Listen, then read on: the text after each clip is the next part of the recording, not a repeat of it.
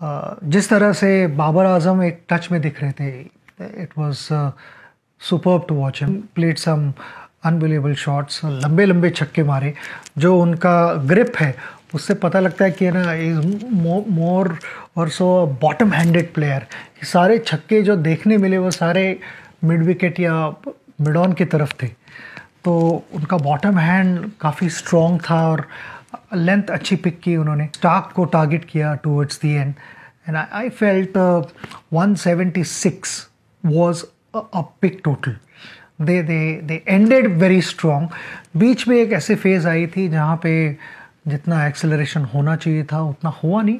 Possibly because that was their strategy की wickets हाथ में रखो, बाद में we'll attack in which they dead end 176 was a good total.